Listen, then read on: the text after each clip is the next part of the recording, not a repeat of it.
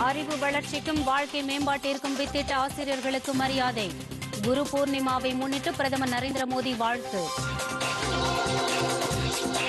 இந்தோனேசியாவின் பாலியில் மூன்றாவது ஜி இருபது நாடுகளின் நிதி அமைச்சர்கள் உச்சி மாநாடு.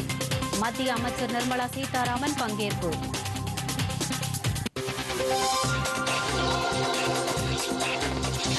கடந்த ஆறு ஆண்டுகளில் வடகிழக்கு மாநிலங்களின் வேளாண் ஏற்றுமதி எண்பத்தி ஐந்து சதவிகிதமாக அதிகரிப்பு. மத்திய அரசு தகவல்.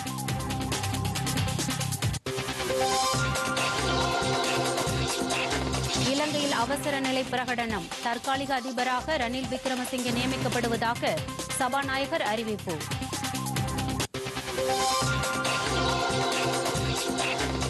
Singapore open badminton. P V Sindhu இரண்டாவது சுற்றுக்கு முன்னேற்றம்.